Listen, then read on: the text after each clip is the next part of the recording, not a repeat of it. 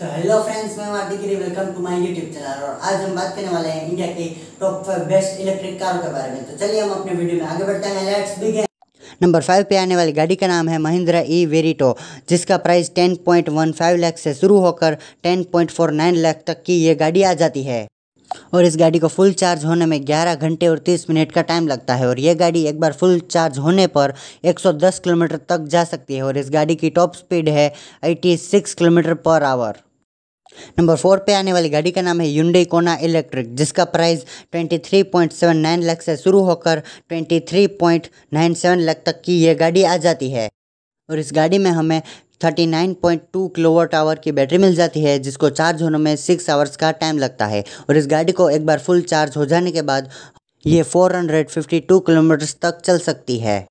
Number three पे आने वाली गाड़ी का नाम है टाटा टिगोर ईवी, जिसका प्राइस 12.9 लाख से शुरू होकर 13.6 लाख तक की ये गाड़ी आ जाती है। और इस गाड़ी में हमें वन स्पीड ऑटोमेटिक ट्रांसमिशन मिल जाता है। और इस गाड़ी को एक बार फुल चार्ज करने पर यह 213 किलोमीटर तक चल सकती है। और इस गाड़ी में हमें 13 किलो की हॉर्स पावर मिल जाती है।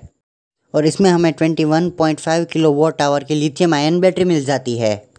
और सेकंड नंबर पे आने वाली गाड़ी का नाम है M G Z S E V जिसका प्राइस शुरू होता है ट्वेंटी वन लाख से शुरू होकर twenty four point two lakh तक की यह गाड़ी आ जाती है। इसमें हमें forty four point five kilo watt hour की बैटरी मिल जाती है, जिसको एक बार फुल चार्ज करने पर यह फोर हंड्रेड नाइनटीन किलोमीटर्स तक चल सकती है।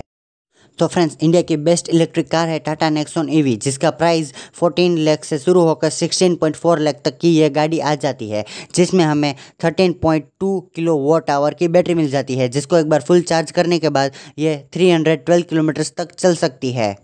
और इसमें हमें 95 किलो वॉट की हॉर्स पावर मिल जाती है और इसमें हमें वन स्पीड ऑटोमेटिक ट्रांसमिशन भी मिल जाता है। तो फ्रेंड्स ये वीडियो आपको कैसी लगी है हमें कमेंट बॉक्स में बताना ना भूलिएगा। और अगर ये वीडियो आपको पसंद आए तो इस वीडियो को लाइक कीजिए शेयर कीजिए और हमारे चैनल को सब्सक्राइब करें। नमस्कार।